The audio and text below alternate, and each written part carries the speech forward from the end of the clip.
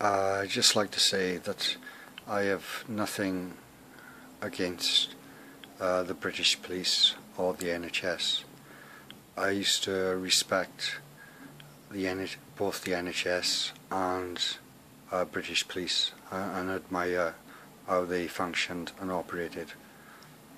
For instance, back in 2003 when my telepathy first developed, um, the the first uh, the first uh, uh, people that I turned to was uh, the NHS because I was suffering from headaches from the increased uh, electromagnetic uh, uh, wave wavelengths or waves that were being uh, that were um, that, that were entering my brain uh, through my styloid processes and the police as well. I, I used to admire and respect them but since my abilities and uh, my psychic abilities and so forth have developed over the years uh, I've become a, a target for uh, certain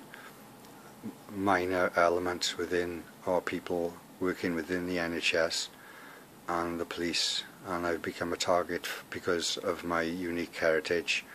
And I I do have an extra organ in my body.